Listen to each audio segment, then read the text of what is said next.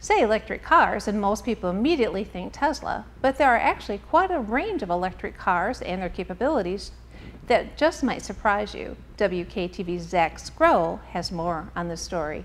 They're too slow, you can't take road trips, and the charging stations are non existent. Those were just some of the misconceptions a group of car owners were dispelling at a September 13th National Drive Electric Week event. Uh, the biggest misconception is that you can't take road trips. If I had range anxiety, I was worried I was going to be stuck in the middle of nowhere.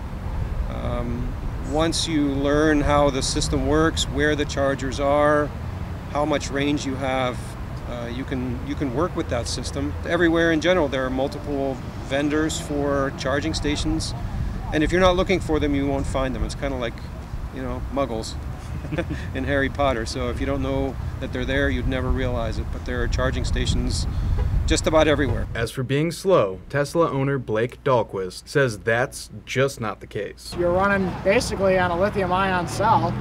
So you look at it for the fact of, hey, I'm driving around on something that typically would power a phone, but you put thousands of them together and you get a sleek, sexy vehicle that goes 0 to 60 in almost nothing.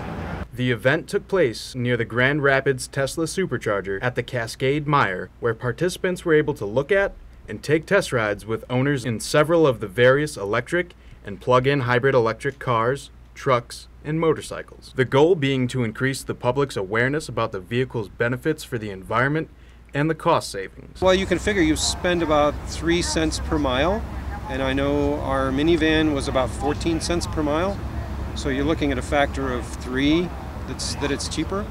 So if you drive a thousand miles a month, uh, you're looking at your power bill would only go up about $30. For a majority of my career, I was commuting from Kalamazoo to Grand Rapids, and I was spending near $500 a month in gas alone for for uh, for those trips. So uh, transitioning to to electric, uh, usually about 60 cents for me to uh, to charge it at night for my new commute. So that's quite a big savings. The bottom line is that over the past 20 years there have been great strides in making electric cars better, faster, and more convenient to use. We're a two EV family now.